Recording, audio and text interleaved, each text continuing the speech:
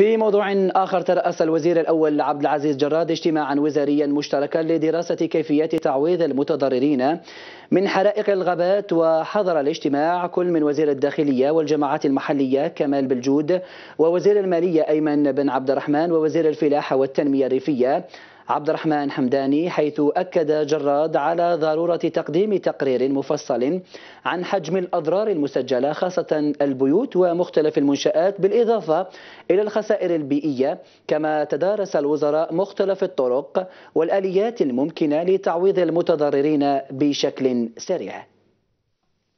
خاصة منها الغابات وبعض المزارع. وسكنات المواطنين خاصة الريفية. سنتكلم عن هذه الوضعية. ما هي الانعكاسات على المحيط البيئي وعلى السكان وحياة السكان. ثانيا نقيم بطريقة نسبية وأولية قيمة الخسائر. الحمد لله الحال الخسائر البشرية لحد الآن ليست هناك خسائر بشرية لكن خسائر مادية ممكن آه، تعطونا بعض الإحصائيات في هذا المجال.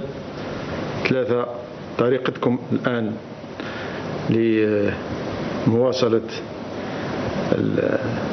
محاربة هذا النيران بالوسائل الموجودة المادية أو المالية إلى غير ذلك من الوسائل